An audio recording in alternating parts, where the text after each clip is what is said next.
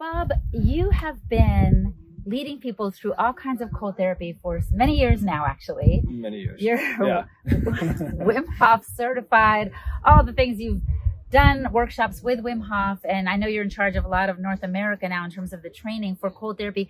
What are we overlooking when it comes to cold therapy? You know, I see people all over Instagram and ice baths and stuff. It looks kind of Mm. sexy right now, but what is it good for that we have no idea about? So uh, physiologically, besides the excitement which you see on Instagram of people Yeah. just doing the ice baths and Yeah. going in and oh, it increases your insulin sensitivity, which means that you actually need less insulin to process the, the sugars in your body, which is a huge metabolic benefit. So, So, your body's world, more efficient. your body's more efficient. Um, your metabolic system is more efficient. And so what's Yes. wrong with it being inefficient? So what we have learned recently, and in Casey Means' book, Good Energy, she points this out. If your cells are not producing energy optimally, they begin to send out emergency signals saying, I'm in trouble. Those emergency signals are actually the things that kick off inflammation. Ah. So they, so an inefficient cell is actually an inefficient energy system is actually basically a danger in your body. Yeah. This is a really big insight. Like yeah. that is not simple. That's not like just we just sort of live with it. Yeah. No, we are making a, a real mess of war inside our bodies because we have these cells that can't their their their power plants aren't working well. So we can't Ah, tolerate that. Yeah. We end up with this huge inflammation response because of that fact. So to train yourself to be metabolically efficient Mhm. is really critically foundationally important. And and that's a huge beautiful insight from from Casey's work and not from her work but from the book Right. and then from just the world the, the, the research that's out there. right. Yeah, right. it's a big one. So I feel like people, for example, um, lean toward carnivore or keto diets, Mm, looking for this metabolic efficiency that you're describing. right. But what's kind of cool about the cold is it doesn't have anything to do with diet necessarily. You can get these benefits just by getting in the cold water and challenging your body. Right. And it also has huge benefits for inflammation, for, for, physical inflammation, Yes. like the painful type, Yeah. and for pain management itself. Uh-huh. Um, and it's a huge uh, boost. It's it's a workout for your circulatory system. So many of us don't move a whole lot in our day, and the thing that's pumping our blood is this: our heart, Yeah. and all these other veins inside your body and arteries have smooth muscle around them.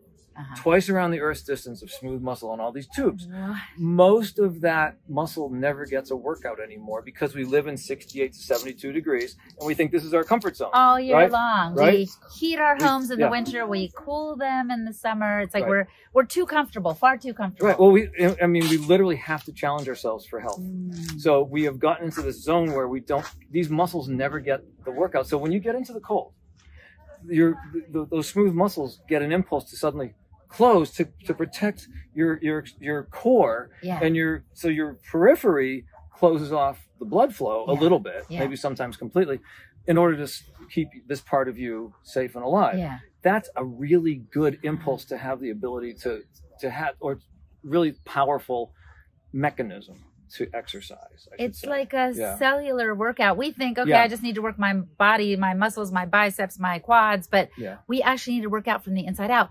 And is it true like that that this cold Mm. also makes the mitochondria that can also get kind of floppy and tired, these little engines in our cells, it kind of revitalizes them as well? oh it gives them a signal they need to do more Ah. really important. They need they need that stress. They need that that uh, functional stress that says I need you to do a little bit more because that makes them like all our growth comes from those little pressures that say I need a little bit more from you. I need a little bit more. Not thousands of percent more that would just break the mechanism, but just a little bit.